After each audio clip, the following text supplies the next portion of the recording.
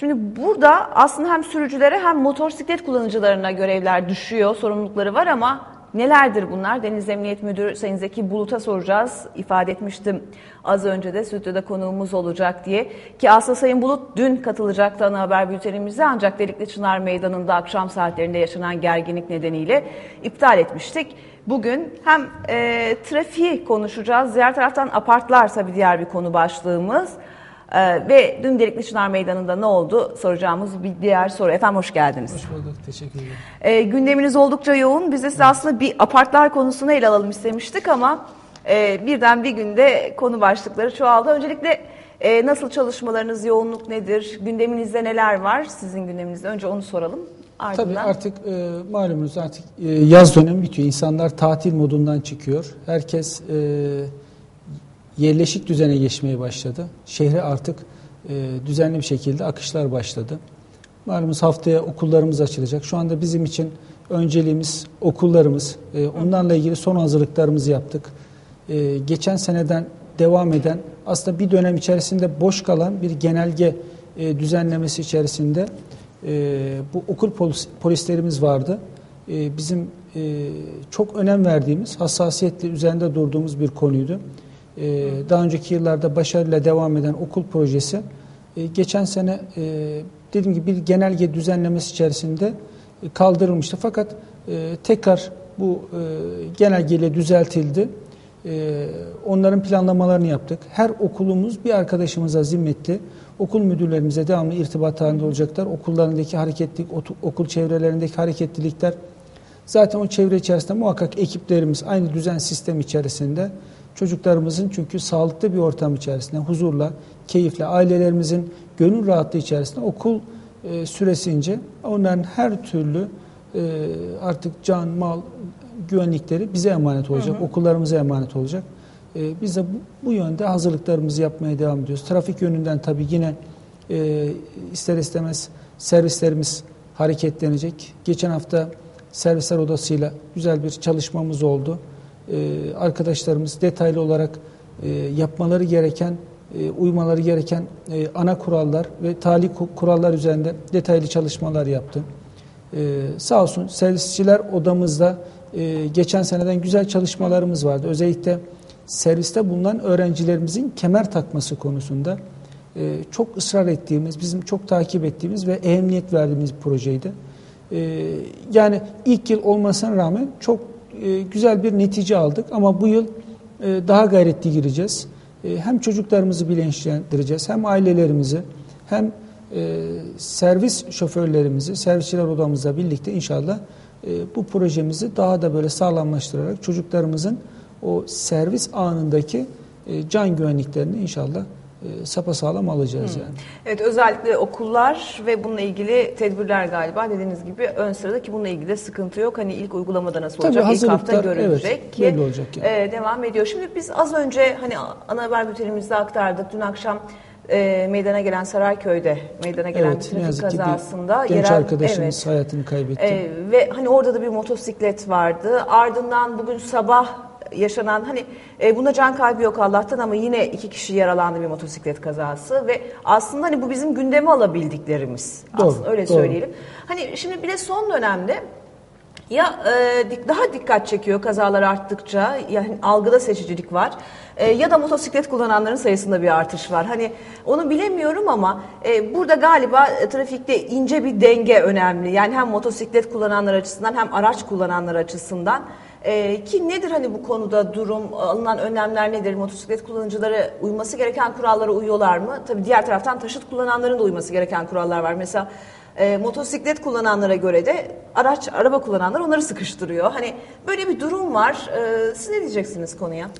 Tabii trafik e, hayatımız içerisinde en önemli parça. Yani araç kullanmasak dahi, yayı olarak dahi trafiğin içerisindeyiz. Hı hı. Bu günlük e, meşguliyet içerisinde, trafik yoğunluğu içerisinde e, tabii ister istemez e, birçok hatalar, birçok kazalar meydana geliyor. E, gönül ister ki hiçbir olmasın. E, ama ben öncelikle şunu söyleyeyim ki siz ne yaparsanız yapın sonuçta bu bir eğitimdir, bu bir kültürdür. E, yani bu eğitim ve kültürün çok genç yaşta, çocuk yaşta bunların muhakkak kazanılması gerekiyor. Çünkü e, kazaların e, yani yüzde doksanı tamamen kişi hatasından yani sürücü hatasından kaynaklanıyor. E, önleyemiyorsunuz. Yani yapabileceğiniz noktalarda siz istediğiniz tedbiri alın, kavşak düzenlemesi yapın, yeni yollar yapın, ışıklar koyun. Ya bakıyorsunuz e, yeni yollar var. İnsanlar diyor ki e, peki ya bu kadar duble yol yapıldı. Niye biz hala yavaş gidiyoruz? Yani yavaş gitmek bunlar sizin için, bizim için değil yani sizin kaza yapmamanız için. E, son iki haftadır kazalarımız inanılmaz şekilde arttı ve kazalarımıza baktığımızda neredeyse çok ilginci yani dün Sayın Valimizle de aynı şeyi paylaştım. Yani neredeyse yüzde yüzü tek taraflı kaza. Tek taraflı kaza. Yani Tek taraflı. yani araba yoldan çıkıyor. Nasıl çıkıyor? Yorgunluktan çıkıyor, dikkatsizlikten çıkıyor.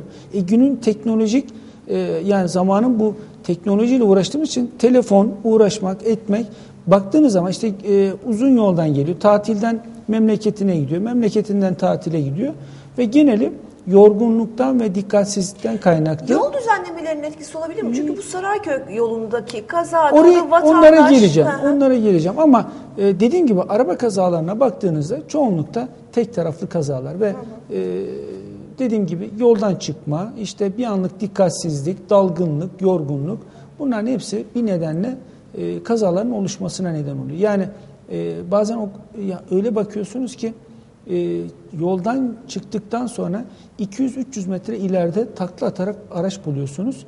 E, bu demektir ki yani hesaba koyduğunuzda ya en az 140 ile gidiyor demektir ve insanlar bize diyor ki yani niçin e, bu kadar hız limitlerini daraltıyorsunuz diye.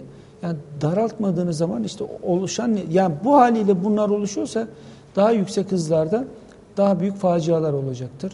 E şimdi ilimizde e, bizim çok yüksek oranda tescilli aracımız var. Yani e, şu an 315 bin civarında tescilli aracımız var. E, bu Türkiye ortalamasının çok üstünde. E, şu anda 3.1 yani 3 vatandaştan birinin aracı var il genelinde. Bu sadece 20 plakalı tescilli araçlar için.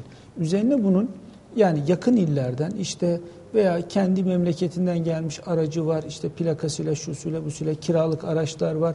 Hesaba kattığınızda belki e, yani 340-350 bine varan bir araç sayımız var.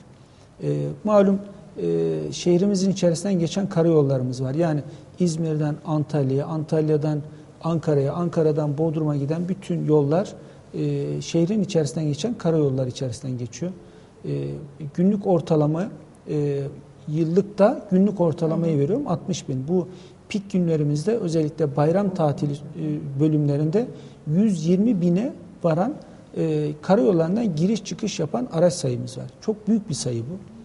E, tabii bu kadar hızlı bir e, trafik sirkülasyonunun olduğu bir noktada da e, belki kaza olarak tabii bizler e, illaki üzülüyoruz şehrimizde. Aslında e, bayram süresini de çok iyi geçirdik. Yani hı hı. biz her gün arkadaşlarla aman bugün kaza olmadı, aman bugün kaza olmadı. E, hatta en son bayram bittikten sonraki cumartesi pazar günü ilk kazamız oldu. Üzüldük hatta. E, çünkü o ana kadar hiç kazamız olmadı. Çok iyi atlattık. Oradan sonra gene bir e, duranlık yaşadık ama bir anda dediğim gibi iki haftadır artmaya başladı.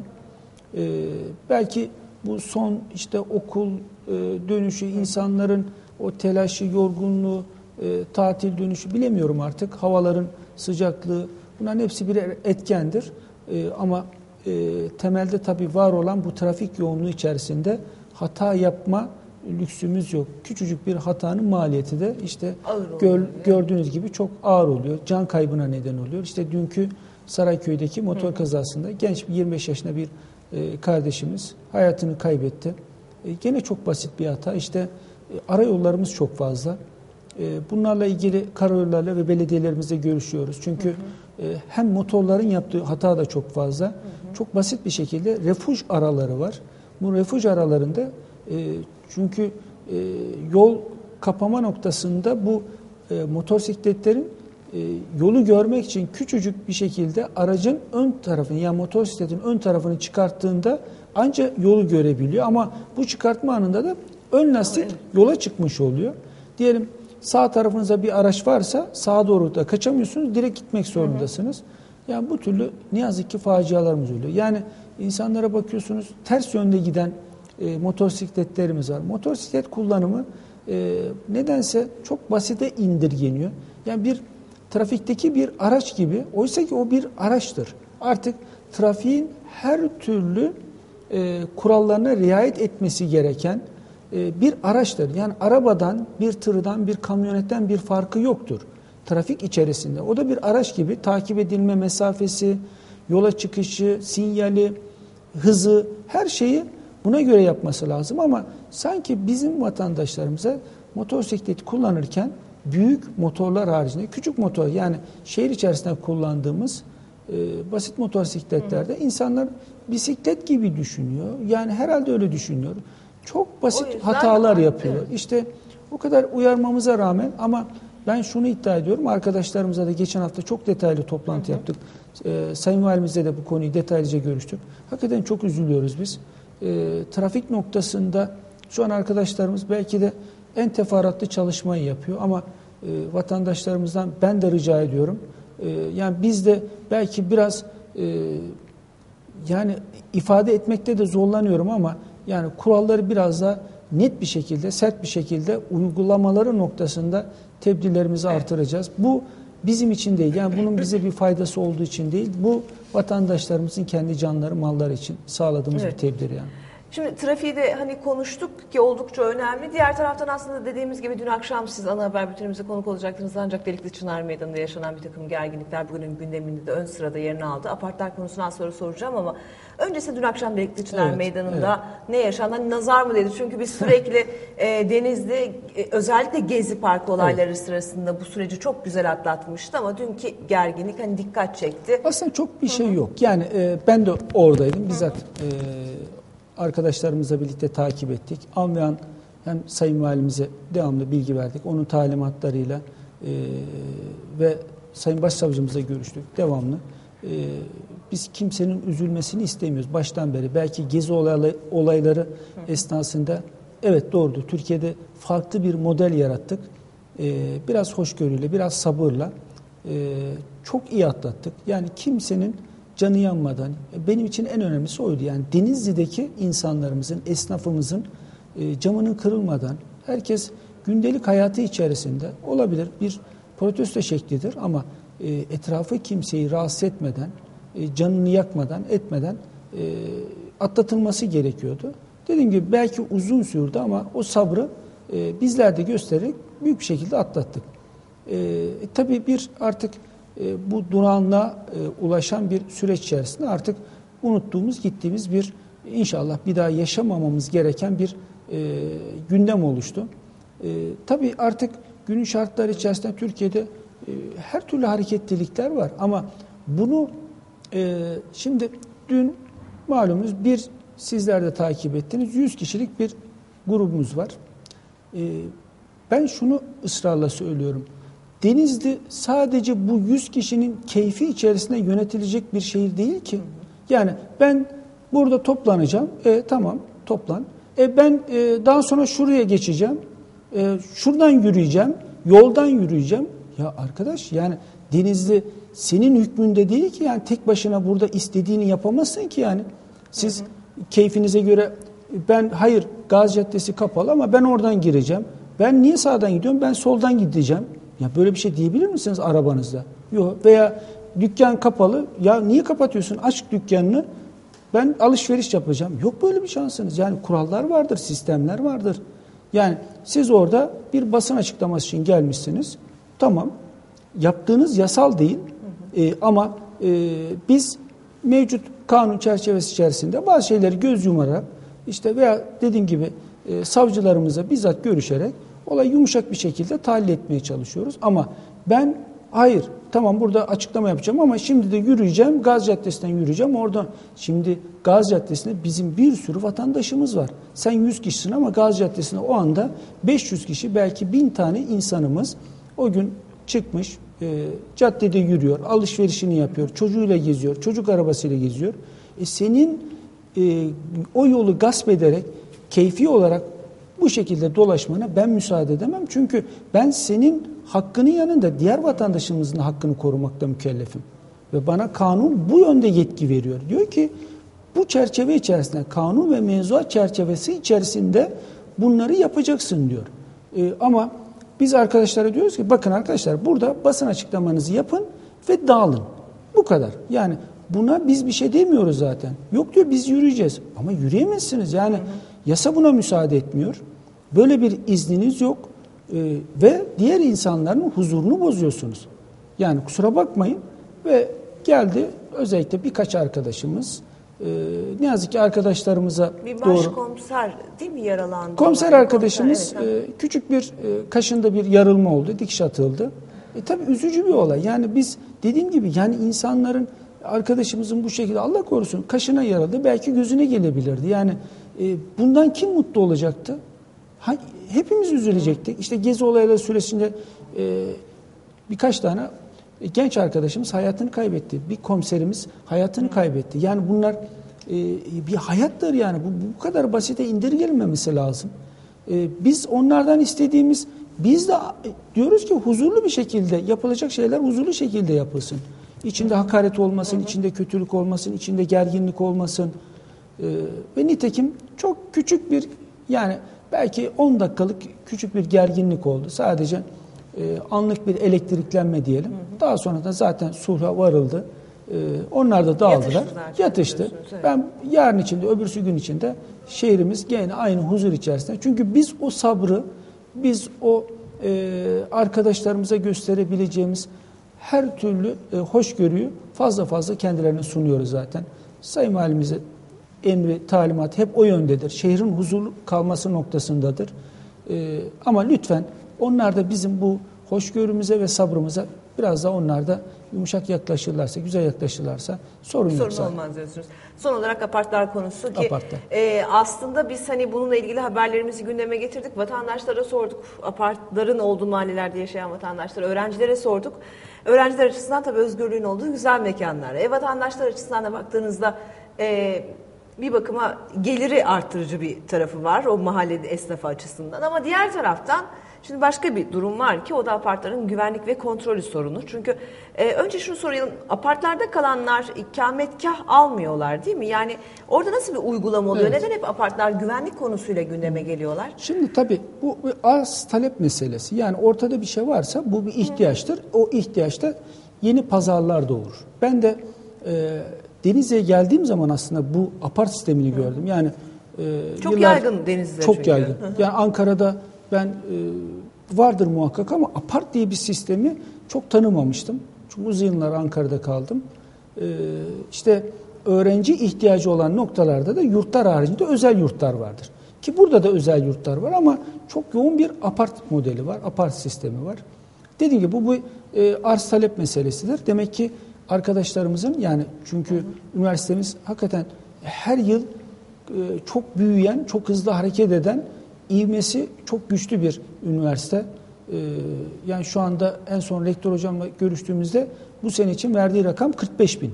45 bin öğrencimiz olacak. E tabi 45 bini kaldıracak bir e, malum ki bir e, yurt yapımız yok. Şu anda bildiğim kadarıyla kampüsümüz içerisindeki yurtlar 5 bin civarında olması lazım. E tabi diğer öğrencilerimizi kaldıracak bir sistemin oluşması gerekiyor. Biz apart modelinde e, şundan rahatsızız. Yani orada e, bir öncelikle e, yani bir ekonomik bir e, denge bozukluğu var. Bu e, şimdi özel yurtlarda şöyle bir zorunluluklar var. Yani kontrol var, işte uygulaması gereken kurallar var, bulundurması gereken görevli sayısı var, merdiven mesafesinin ne kadar olması gerektiği, içinde neler olması gerektiği o kadar fazla zorunluluklar var ki çünkü bunlar e, toplu yaşam alanlarında olması gereken hı hı. olmazsa olmazlar. Şimdi bir kısım e, grup özel e, yurt adı altında bu türlü iş yerleri çalıştırırken bu zorunlulukları yapıyor ve yaparken maliyet ister istemez artmaya başlıyor. Ama öbür tarafta da sadece e, kiralık bir daire gibi bir yer veriyorsunuz e, eşyalı e, ama günlük de kullanabiliyorsunuz, haftalık da kullanabiliyorsunuz, aylıkta, yıllıkta. O sizin tamamen e, tercihinize bağlı. Ama e, bakıyorsunuz hiçbir kaydı yok. Şimdi burası ikamet mi diyorsunuz? E, yok, apart. E, apartsa o zaman bunun bir kaydının olması lazım. E, ama ya biz tam öyle ticari değiliz. E, işte kiraya veriyoruz. Yani şimdi işleten de tam modeli bilmiyor. Yani Ve yasada da yok galiba tanımlı değil oraya da değil mi? geleceğim. Hı hı. Ve e, ister istemez bu e, böyle dengesiz bir hareketlenme olmuş. Ve ticari anlamda da çok ciddi e, işin açıkçası baktığınız zaman hakikaten geliri bol bir sektöre dönüşmüş. Yani iyi para kazanılıyor. Ve ister istemez insanlar çok basit bir şekilde evini, dairesini, binasını hemen apart sistemine çeviriyor. Çünkü diyor ki ben bir daireden bu kadar kazanacağım ama bir daireden dört tane apart çıkartırım, apart daire çıkartırım. Bir dört apart daireden bu kadar para kazanırım diyor. Ve sistem kendi kendine böyle mantar gibi türemeye başlıyor. Ama bakıyorsunuz belki sağlıksız ortamlar ki yıl içerisinde sizler de muhakkak haber yapmışsınızdır. Öğrencilerimiz o ilk geldiği anda ben de e, biliyorsunuz bu sene çok farklı bir model yaptık. Sayın Valimizin talimatıyla ve rektör hocamızın da sağ olsun e, destekleriyle e, öğrencilerimizin o kayıt sürelerinde çok güzel bir model. Belki Türkiye'de ilk defa bu kadar kapsamlı, sağlam bir şekilde ailelerimizin e, terminalden geliş anından kayıt sonuna kadar şehrindeki şehirdeki gittiği yere kadar her türlü kolaylığı sağlayacak servisten, ikramlarından, hediyelerinden, dinlenecekleri noktalarda yardımcı olabilecek bilgiler, belgeler, her şeyi verebileceğimiz o bir hafta kayıt süresince e, çok ciddi bir şekilde öğrencilerimizde, yeni gelen öğrencilerimizle iç içe olduk ve e, yüzde 78 kayıt yapan öğrencimizin il dışından gelen, Denizlili değil, e, tahmin ediyorum 9800 civarında kayıt yapılmış. Bunun 2000 küsürü Denizliliydi. Geri kalan il dışından gelmişti ve biz bunun 5500'üne yani %78'ine yeni kayıt yapan e, öğrencilerimizin %78'ine ulaşmışız. Çok güzel bir rakamdı. Hatta çok güzel dönüşümler aldı. Çok teşekkür ettiler. Aileler e, gelene kadar acaba nasıl bir yere geliyoruz? İşte terminale geldiğimizde üniversiteye nasıl gidebiliriz? Otobüs var mı? Taksi çok mu pahalı olur? E, bunların hepsini biz gel gelip daha otobüsten iner inmez bizi karşılarında bulduklarında müthiş bir memnuniyet ve mutlulukla e, bunu bize ifade ettiler. Geri dönüşümler çok güzel. E, orada e, kayıt esnasında şöyle bir sorunla da karşılaştık. Şimdi e, tabii dediğim gibi apart sistemi içerisinde yaptırımlardan kaynaklı özel yurtlar işte biraz yüksek bir fiyat koyarken apartlar daha ucuz oluyor ama ifade ederken sanki yurt diye ifade ediliyor. Tabii yeni gelen öğrencimiz apart modelini tam bilmediği için aa çok ucuzmuş diyor. Bakıyor fotoğraflarını görüyor hatta gidiyor görüyor. Aa çok güzel diyor gidiyor. Ama bir bakıyor yıl içerisinde bir bakıyor ki hiç öyle değil. Yani burası bildiğimiz kiralık bir daire diyor.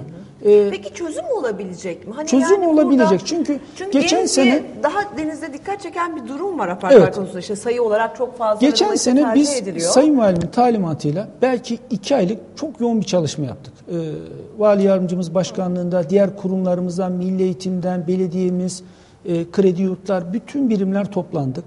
E, bütün mevzuatları tekrar tekrar inceledik. Yani burada apart dediği sistem ne? Ne sorun var burada? Yani bir kaçak var. Yani bir mevzuat boşluğu var, bir yasal boşluk var. Bu yasal boşluğun muhakkak giderilmesi lazım. Çünkü dediğim gibi yani e, birilerine haksız bir e, kazanç oluşturuyorsunuz veya birilerini yanlış bilgilendirerek öğrenciyi oraya çekiyorsunuz. Öğrencimiz kalsın biz apar sisteminin bir de sakın yanlış anlaşılmasın biz apar sisteminin kapanması, apar sistemin yok olması taraftarı değiliz. Aksine apar sistemi devam etsin çünkü dediğim gibi en başta da söyledim ya arz talep meselesi bir ihtiyaçtır.